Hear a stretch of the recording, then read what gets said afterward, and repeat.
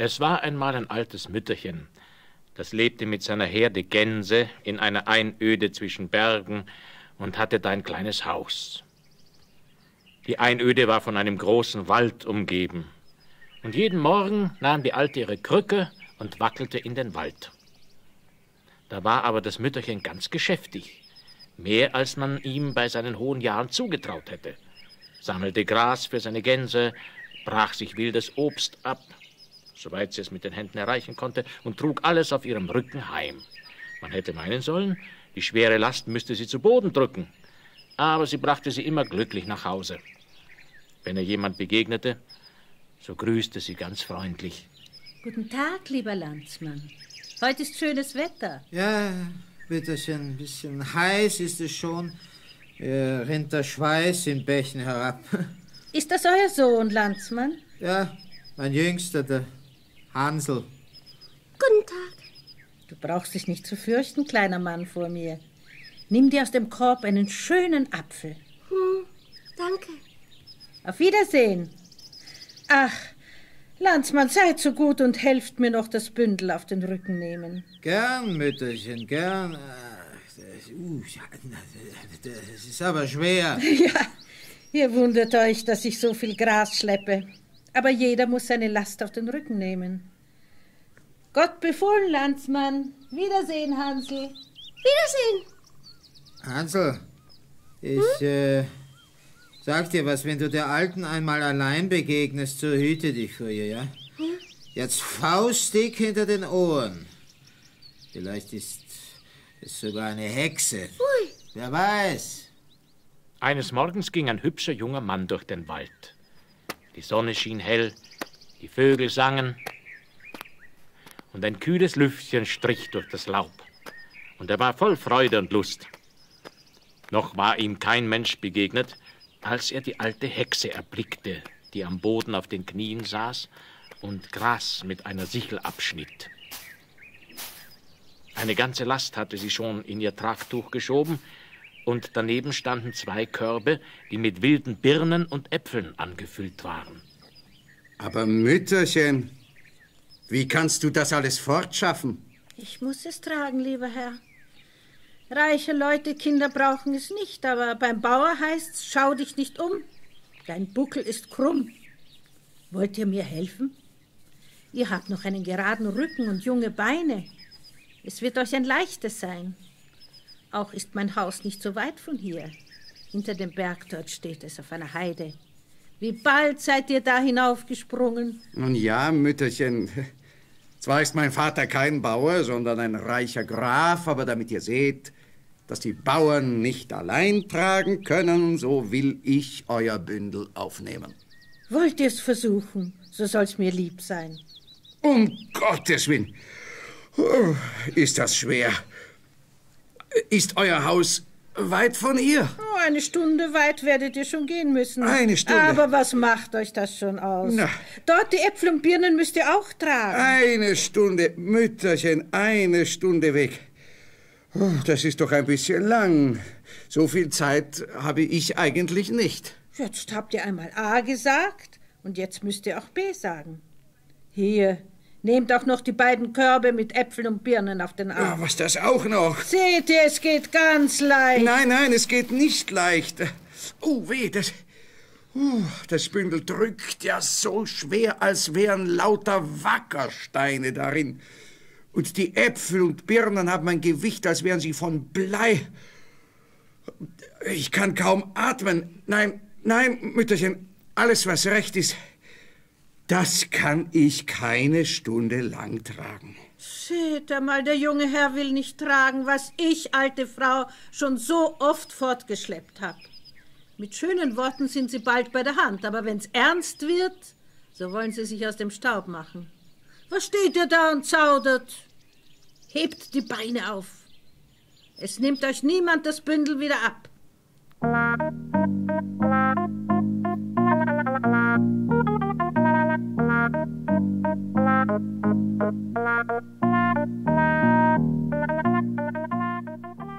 Solange er auf ebener Erde ging, war es noch auszuhalten.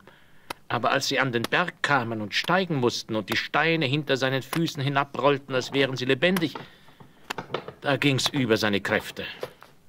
Die Schweißtropfen standen ihm auf der Stirn und liefen ihm bald heiß, bald kalt über den Rücken hinab. Mütterchen, ich kann nicht weiter. Ich will ein wenig ruhen. Nichts da. Wenn wir angelangt sind, so könnt ihr ausruhen. Aber jetzt müsst ihr vorwärts. Wer weiß, wozu es euch noch gut ist. Alte, du wirst unverschämt. Das lasse ich mir nicht gefallen. Ich werfe das Tragbündel einfach ab. Dann kannst du es mitsamt deinen Körben allein nach Hause tragen. Versuch's nur, ob du es vom Rücken wegbringst. Was ist denn das? Was?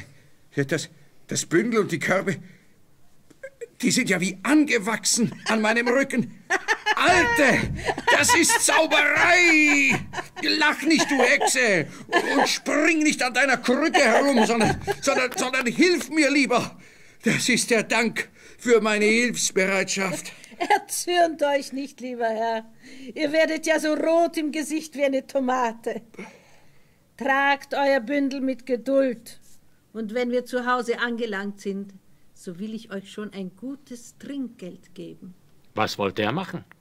Er musste sich in sein Schicksal fügen und geduldig hinter der Alten herschleichen. Sie schien immer flinker zu werden und ihm seine Last immer schwerer.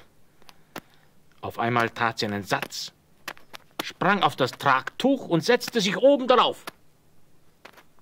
Wie zaundür sie auch war, so hatte sie doch mehr Gewicht als die dickste Bauerndirne. Dem Jüngling zitterten die Knie. Aber wenn er nicht fortging, so schlug ihn die Alte mit einer Gerte und mit Brennnesseln auf die Beine. Geh herunter, Alte, du bist zu schwer, ich kann nicht mehr. Hü, mein Pferdchen, hü! Weiter, weiter! Unter beständigem Ächzen stieg er den Berg hinauf und langte endlich bei dem Haus der Alten an, als er eben niedersinken wollte. Als die Gänse die Alte erblickten, streckten sie die Flügel in die Höhe und die Hälse voraus und schrien ihr Wulle Wulle. Hinter der Herde mit einer Rute in der Hand ging eine bejahrte Trulle, stark und groß, aber hässlich wie die Nacht. Die sprach zu der Alten. Frau Mutter, ist euch etwas begegnet? Ihr seid so lange ausgeblieben. Bewahre, mein Töchterchen. Mir ist nichts Böses begegnet. Im Gegenteil, der liebe Herr da hat mir meine Last getragen. Denkt ihr, als ich müde war, hat er mich selbst noch auf den Rücken genommen. Der Weg ist uns gar nicht lang geworden. Wir sind lustig gewesen und haben immer Spaß miteinander gehabt. Schöner Spaß. Mir tun alle Knochen im Leib weh. Bleibt ruhig stehen, ich rutsche jetzt hinunter und nehme euch das Bündel und die Körbe ab. Na ja. So, und nun Spaß beiseite. Ihr habt tapfer durchgehalten, junger Mann.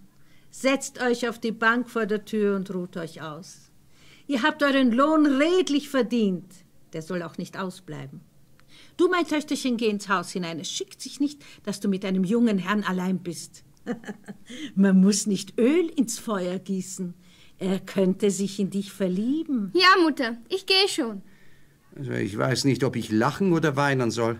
Solch ein Schätzchen, dick und hässlich wie die Nacht, und wenn es 30 Jahre jünger wäre, könnte doch mein Herz nicht rühren. Inzwischen hätschelte und streichelte die Alte ihre Gänse wie Kinder. Wulle, wulle, wulle, wulle, Gänschen, meine lieben Kinderchen.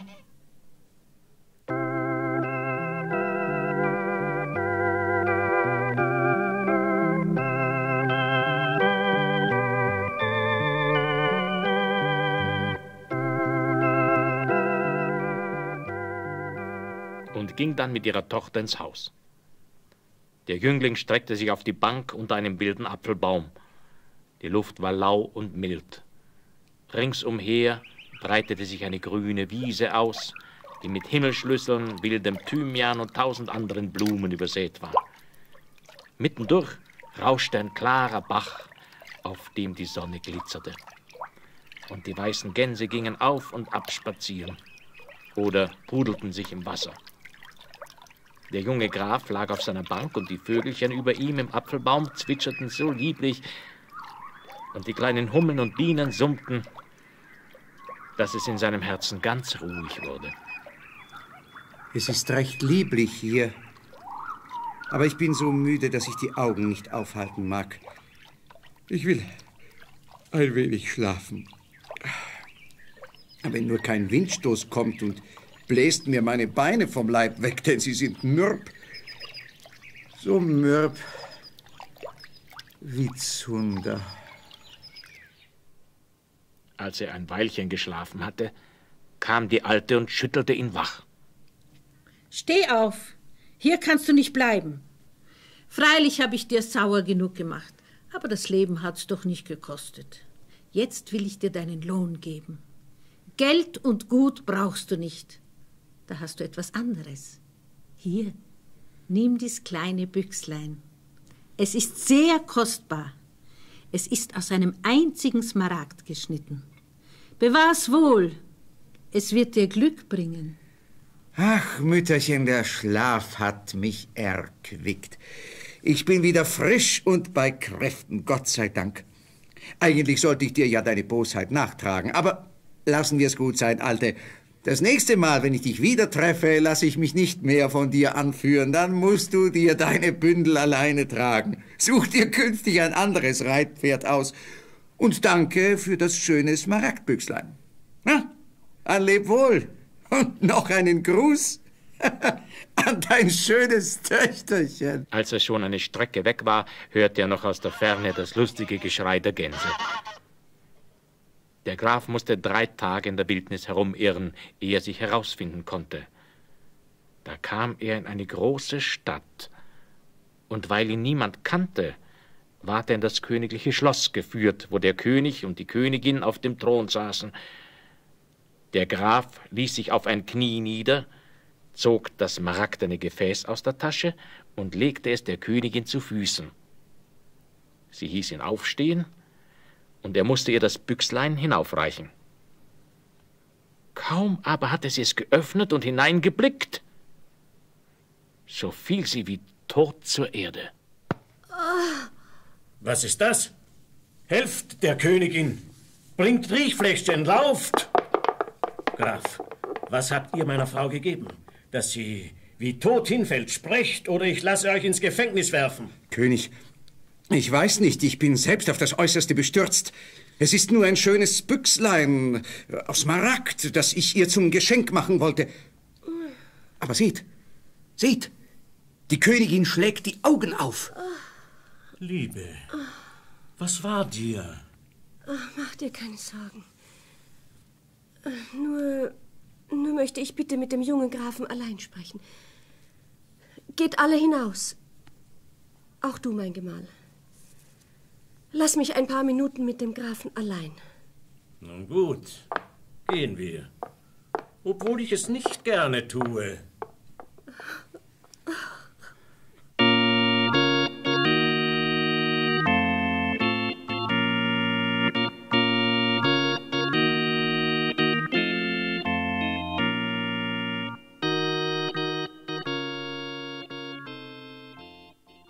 Königin, ich bin untröstlich, dass ihr durch mein Geschenk in solche Aufregung versetzt wurdet. Ich kann mir den Grund nicht erklären. Habt die Güte, erzählt mir, was euch so betrübt. Lieber Graf, ich bin eine arme Mutter. Was hilft mir Glanz und Ehren, die mich umgeben? Jeden Morgen erwache ich mit Sorgen und Kummer. Ich habe drei Töchter gehabt. Davon war die jüngste so schön, dass sie alle Welt für ein Wunder hielt. Sie war so weiß wie Schnee, so rot wie Apfelblüte und ihr Haar so glänzend wie Sonnenstrahlen. Wenn sie weinte, so fielen nicht Tränen aus ihren Augen, sondern lauter Perlen und Edelsteine. Als sie 15 Jahre alt war, da ließ der König alle drei Schwestern vor seinen Thron kommen. Da hättet ihr sehen sollen, was die Leute für Augen machten, als die Jüngste eintrat. Es war, als wenn die Sonne aufging. Der König sprach, meine Tochter, ich weiß nicht, wann mein letzter Tag kommt.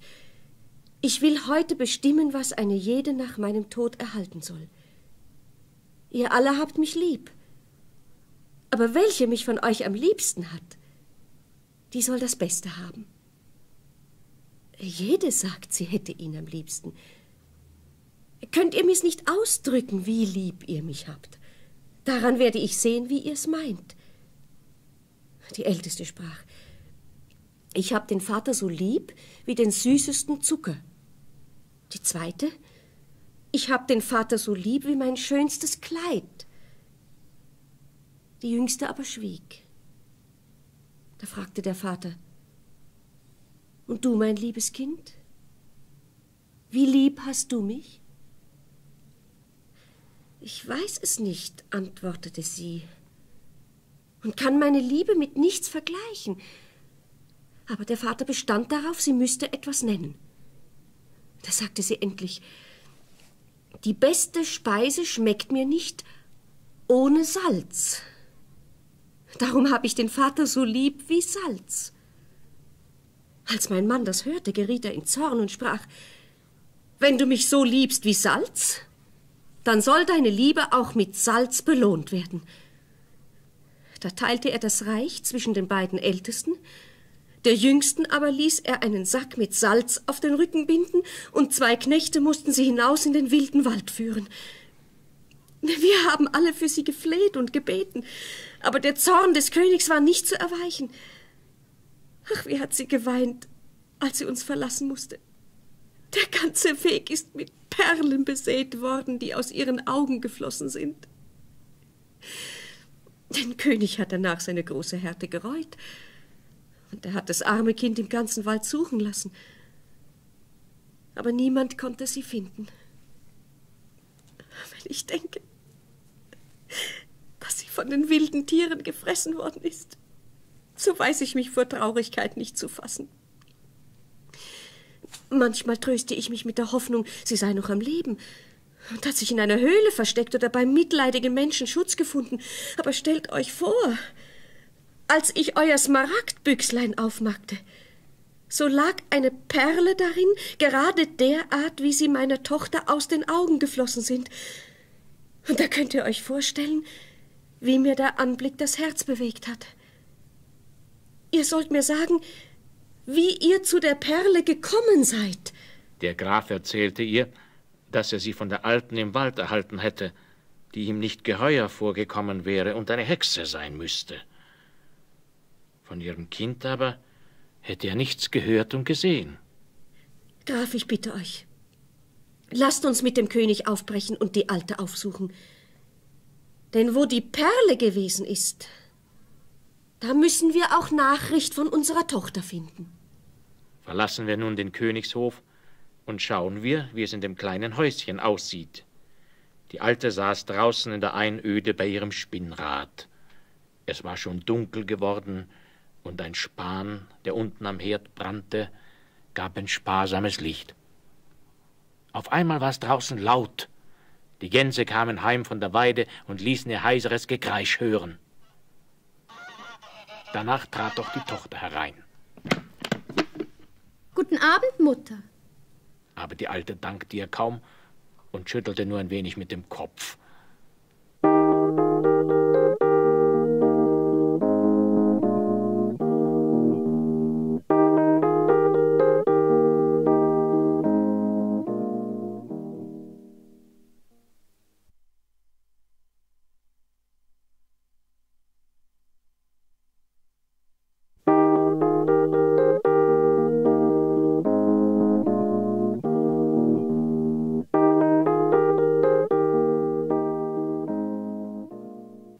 Setzte sich zu ihr nieder, nahm ihr Spinnrad und drehte den Faden so flink wie ein junges Mädchen.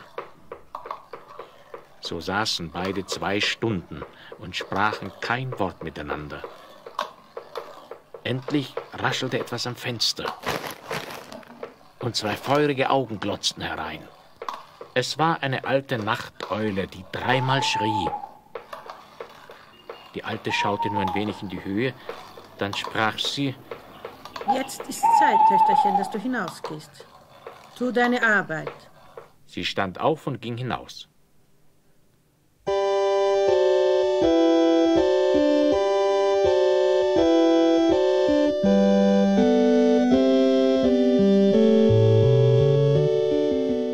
Wo ist sie wohl hingegangen, Kinder? Über die Wiesen immer weiter in das Tal. Endlich kam sie zu einem Brunnen, bei dem drei alte Eichbäume standen. Der Mond war indessen rund und groß über dem Berg aufgestiegen und so hell, dass man eine Stecknadel hätte finden können. Sie zog eine Haut ab, die auf ihrem Gesicht lag, bückte sich dann zu dem Brunnen und fing an, sich zu waschen.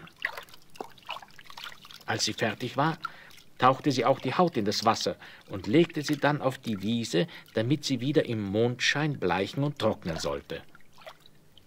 Aber wie war das Mädchen verwandelt? So etwas habt ihr nie gesehen. Als der graue Zopf abfiel, da quollen die goldenen Haare wie Sonnenstrahlen hervor und breiteten sich, als wär's ein Mantel, über ihre ganze Gestalt. Nur die Augen blitzten heraus, so glänzend wie die Sterne am Himmel, und die Wangen schimmerten in sanfter Röte wie die Apfelblüte. Aber das schöne Mädchen war traurig. Es setzte sich nieder und weinte bitterlich. Ach, meine lieben Eltern, wie wird es euch ergehen? Wann werde ich dich wiedersehen, Mutter? Wann bist du nicht mehr böse auf mich, Vater? Lieber Gott, beschütze sie. Führe alles zu einem guten Ende.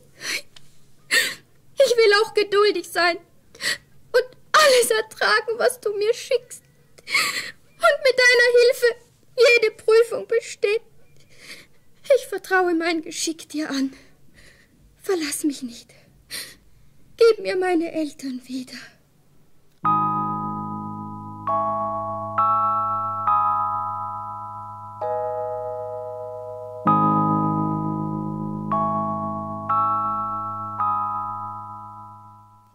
Eine Träne nach der anderen drang aus ihren Augen und rollte an ihren langen Haaren auf den Boden.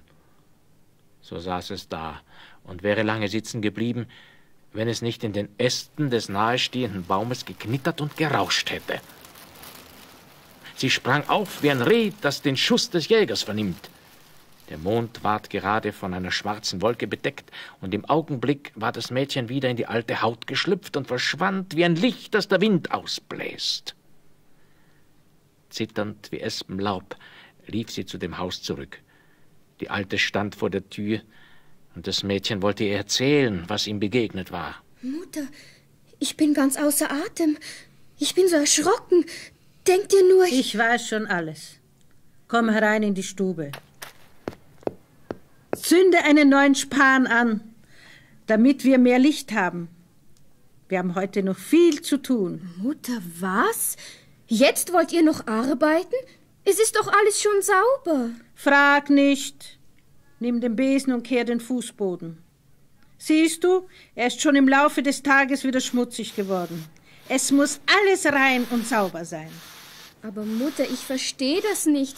Warum fangen wir in so später Stunde noch einmal an? Was habt ihr vor? Weißt du denn, welche Stunde es ist? Noch nicht Mitternacht, aber wahrscheinlich schon elf Uhr vorbei. Denkst du nicht daran, dass du heute vor drei Jahren zu mir gekommen bist? Deine Zeit ist aus. Wir können nicht länger zusammenbleiben. Ach, liebe Mutter, wollt ihr mich verstoßen? Wo soll ich hin? Ich habe keine Freunde und keine Heimat, wohin ich mich wenden kann.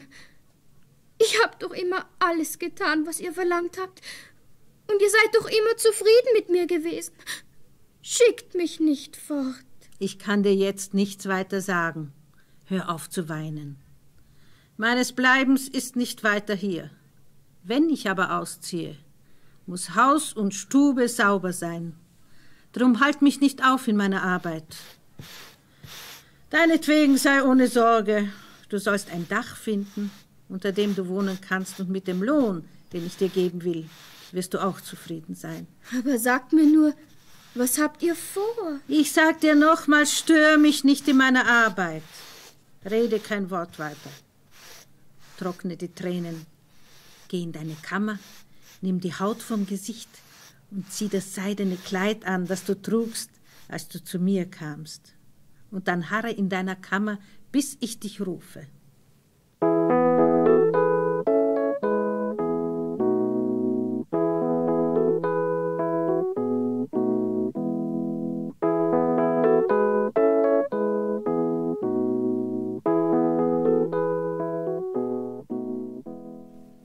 Muss wieder von dem König und der Königin erzählen, die mit dem Grafen ausgezogen waren und die Alte in der Einöde aufsuchen wollten. Der Graf war nachts in dem Wald von ihnen abgekommen und musste allein weitergehen. Am anderen Tag kam es ihm vor, als befände er sich auf dem rechten Weg. Er ging immer fort, bis die Dunkelheit einbrach. Da stieg er auf einen Baum und wollte da übernachten.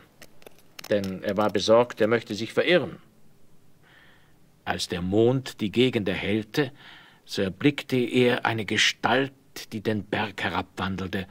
Sie hatte keine Rute in der Hand, aber er konnte doch sehen, dass es die Gänsehirtin war, die er früher bei dem Haus der Alten gesehen hatte. Oh, da kommt sie.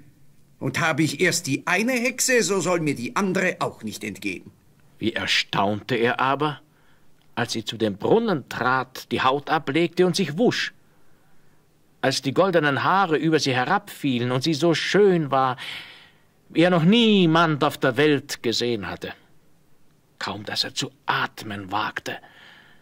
Aber er streckte den Hals zwischen dem Laub so weit vor, als er nur konnte, und schaute sie mit unverwandten Blicken an. Ob er sich zu weit überbog oder was sonst schuld war, plötzlich krachte der Ast, und in demselben Augenblick schlüpfte das Mädchen in die Haut, sprang wie ein Reh davon, und da sich der Mond zugleich bedeckte, so war sie seinen Blicken entzogen. Kaum war sie verschwunden, so stieg der Graf vom Baum herab und eilte ihr mit behenden Schritten nach. Er war noch nicht lange gegangen, so sah er zwei Gestalten in der Dämmerung über die Wiese wandeln. Es war der König und die Königin, die hatten aus der Ferne das Licht in dem Häuschen der Alten erblickt und waren darauf zugegangen. Lieber Graf, Gottlob, da seid ihr wieder. Wir haben euch voll Angst einen ganzen Tag lang gesucht. Frau Königin, ich habe Neuigkeiten, die euch glücklich machen werden. Die Tochter der Alten, von der ich euch erzählt habe, ist euer Kind. Nein, nein. Denn ihr habt das Mädchen geschildert als alt und hässlich. Und meine Tochter war schön wie der helle Tag. Das ist wahr. Aber inzwischen habe ich das wundersamste Erlebnis meines Lebens gehabt. Ich kann noch selbst nicht erfassen, was ich gesehen habe. Es ist ein Wunder. Erzählt schon, Graf. Lasst euch nicht bitten. Ich will es kurz machen. Heute Abend stieg ich auf einen Baum, um dort zu übernachten und um mich umzusehen, ob kein Licht weit und breit wäre. Da kommt, es wird vielleicht zehn Uhr gewesen sein, die hässliche Tochter der Alten, die Gänsehirtin zu dem Brunnen, der gerade unter dem Baum war. Aber was glaubt ihr? Sie zog sich eine Haut vom Gesicht, wusch sich im Brunnen, und als ich wieder hinschaute, stand da das herrlichste Mädchen, das ich je gesehen habe. Ich glaubte zu träumen. Mein Herz klopfte zum Zerspringen, ich wagte kaum zu atmen, aus Furcht, das schöne Bild könnte mir zergehen. Dann fing sie an zu klagen und zu weinen über ihren Vater. Sie ist's, unser Kind. Ach, wie oft habe ich schon meinen Zorn bereut. Wo ist sie aber jetzt? Da drüben in dem kleinen Häuschen muss sie sein. Es ist das Haus der alten Hexe. Kommt, gehen wir hinüber. Es sind nur ein paar Schritte. Frau, lass uns vorsichtig sein. Du weißt, die Alte ist eine Hexe, die unser Kind verzaubert hat. Wer weiß, was sie im Schilde führt. Ja, schleichen wir uns hin und schauen wir durch das Fenster. Alles gut und schön. Schleichen wir uns hin. Das mag noch angehen, aber für mich als König ist es unter meiner Würde, durch ein Fenster zu sehen oder an einer Türe zu lauschen. Das tut man nicht. Ach, du brauchst es ja nicht zu tun. Aber ich kann es nicht erwarten. Ich schaue hinein, da es um das Glück unserer Tochter geht.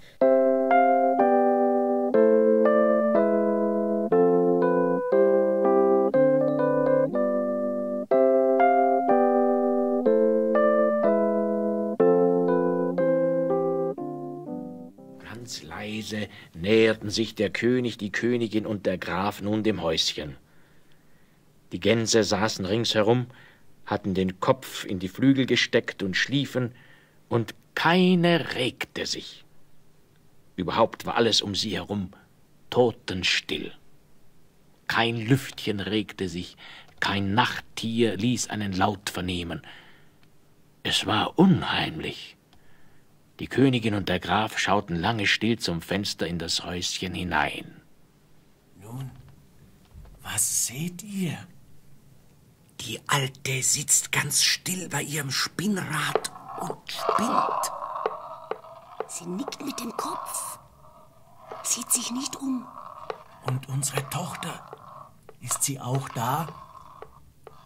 Nein, ich sehe sie nicht. Frau, was siehst du sonst noch? Es ist ganz sauber in der Stube. Als wenn da die kleinen Nebelmännchen wohnten, die keinen Staub auf den Füßen tragen. Das ist doch typisch. Was interessiert mich, ob die Stube geputzt ist? Sauberkeit ist auch wichtig und ein gutes Zeichen. Vielleicht ist die Alte doch keine Hexe. Sonst wäre es nicht so reinlich bei ihr. Wahrscheinlich wird die Alte noch stundenlang spinnen. Sollen wir nicht eintreten? Ja. Klopft ans Fenster. Nur herein. Ich kenne euch schon. Guten Abend. Guten Abend. Ich habe euch schon erwartet. Aber König, den weiten Weg hättet ihr euch sparen können, wenn ihr euer Kind, das so gut und liebreich ist, nicht vor drei Jahren ungerechterweise verstoßen hättet. Tausendmal habe ich es schon bereut. Ich weiß. Darum habe ich euch auch den Weg hierher finden lassen.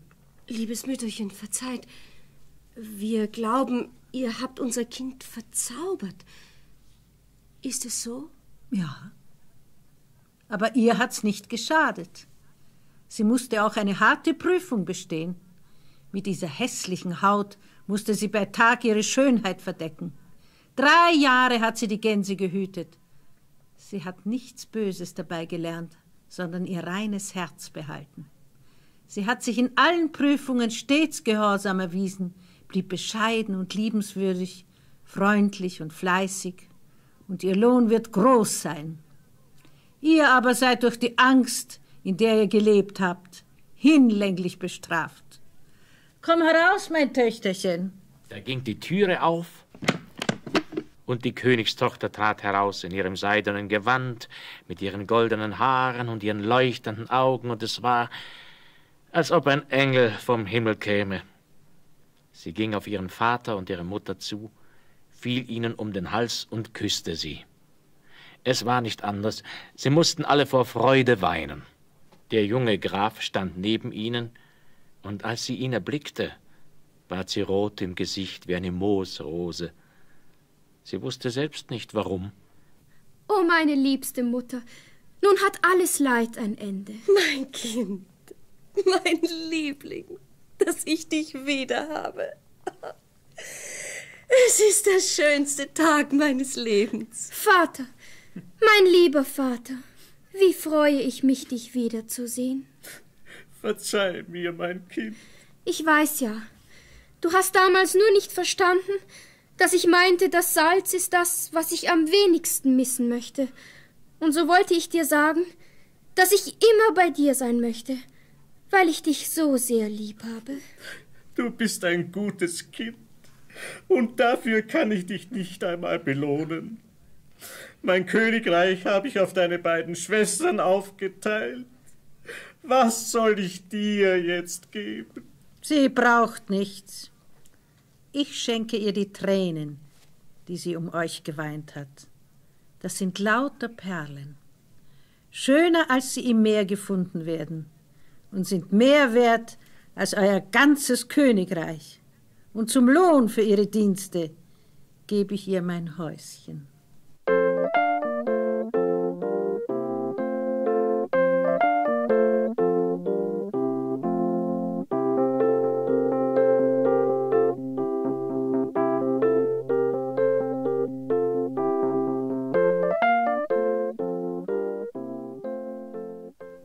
Als die Alte das gesagt hatte, verschwand sie vor ihren Augen.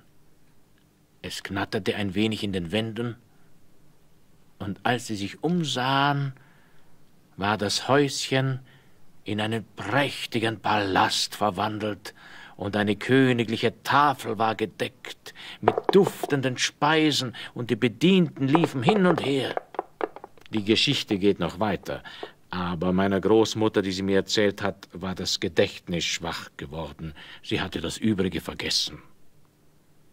Ich glaube immer, die schöne Königstochter ist mit dem Grafen vermählt worden und sie sind zusammen in dem Schloss geblieben und haben da in aller Glückseligkeit gelebt, solange Gott wollte. Ob die schneeweißen Gänse, die bei dem Häuschen gehütet wurden, lauter Mädchen waren, es braucht's niemand zu wissen, welche die Alte zu sich genommen hatte, und ob sie jetzt ihre menschliche Gestalt wiedererhielten und als Dienerinnen bei der jungen Königin blieben, das weiß ich nicht genau, aber ich vermute es doch. So viel ist gewiss, dass die Alte keine Hexe war, sondern eine weise Frau, die es gut meinte. Seht ihr, Kinder, so kann man oft jemand Unrecht tun. Ergeht es euch nicht auch manchmal so, dass ihr glaubt, dieser oder jener Kamerad sei ein Feigling? Und dann stellt sich plötzlich heraus, dass er in Gefahr der mutigste von allen ist. Oder diese Freundin seine Klatschbase und hätte Böses über euch gesagt, und am Ende ist das gar nicht wahr, und sie wurde von anderen nur verleumdet. Da schämen wir uns dann hinterher, mit Recht, weil wir irgendwelchen dummen Gerüchten Glauben geschenkt haben. Dann müssen wir um Verzeihung bitten, wie unser König ihr Märchen. Das ist nicht angenehm, aber das Beste, was wir tun können. Ja, aber nochmal zurück zu der alten weisen Frau. Wahrscheinlich ist sie es auch gewesen, die der Königstochter schon bei der Geburt die Gabe verliehen hat, Perlen zu weinen statt der Tränen. Heutzutage kommt das nicht mehr vor. Sonst könnten die Armen bald reich werden.